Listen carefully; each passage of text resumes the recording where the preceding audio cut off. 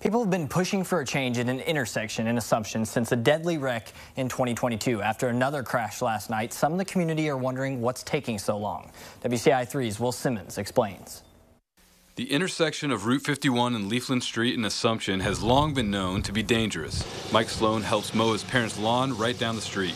The main thing is look both ways twice. You know, even while you're going, you can still be looking back and forth. So I think it's just being, uh, you know, vigilant of what, what's around you.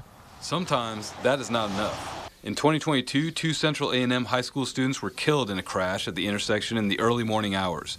This week on Wednesday night, a woman from Terre Haute and two children were taken to the hospital seriously hurt after another wreck. I don't know what the solution would be, but I know something needs to be done. That we seem to be having a lot of problems with that intersection.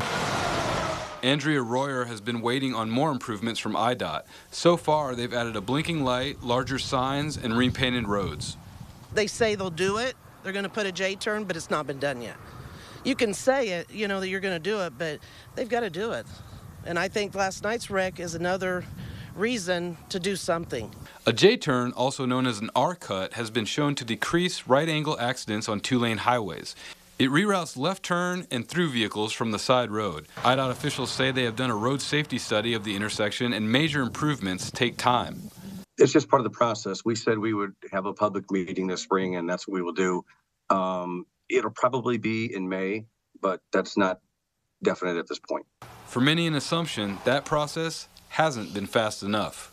And that's scary. You you get nervous, and then I've got people that I'm you know wanting to make sure they're okay because uh, I have kids, and of course I have people messaging me making sure I'm okay, and that's like that every time they get a call and they're like, oh, another one out there on 51. Reporting in Assumption, Will Simmons, WCIA 3, your local news leader.